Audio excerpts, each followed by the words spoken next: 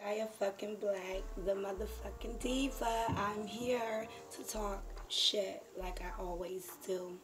You know, you see on my text, you see I'm unique. You see I am the motherfucking diva. I am. And today I'm going to be talking about hoes. That's what I'm going to be talking about. You know, some people tend to judge females, you know, just because, you know, they want to walk around and do them or, you know, fuck for money or whatever the fuck they want to do. It's their business. It's their life. It's not yours. And you don't know what the fuck that person got going on her mind or what she's doing it for. So all I say to that is like, you know, mind your fucking business, you know. Shia Black, the fucking artist, the fucking diva, you know.